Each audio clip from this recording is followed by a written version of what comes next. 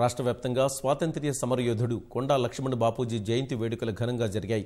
తెలంగాణ రాష్ట్ర ఉద్యమంలో ఆయన చేసిన సేవలను పలువురు ప్రజాప్రతినిధులు అధికారులు స్మరించుకున్నారు. నిర్మల్లో కొండా లక్ష్మణ్ బాపూజీ కాంస్య విగ్రహానికి మంత్రి ఇంద్రకరణ్ రెడ్డి పూలమాల వేసి నివాళులర్పించారు. ఆదిలాబాద్లో బాపూజీ వేడుకలను ఘనంగా నిర్వహించారు.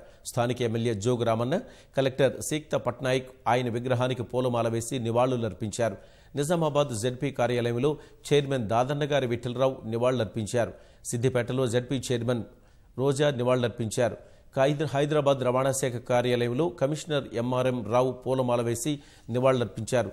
అంబర్పేటలో ఎమ్మెల్యే కాలేరు వెంకటేష్ లక్ష్మణ్ బాపూజీకి నివాళులర్పించారు.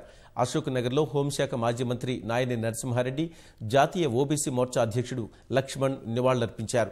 ఈ కార్యక్రమంలో ఎమ్మెల్యే ముఠాగోపాల్ తెలంగాణ తెదేపా అధ్యక్షుడు రమణ బీసీ సంక్షేమ సంఘం జాతీయ అధ్యక్షుడు ఆర్ కృష్ణయ్య మాజీ ఎంపీ అంజన్ కుమార్ యాదవ్ పాల్గొని నివాళులర్పించారు.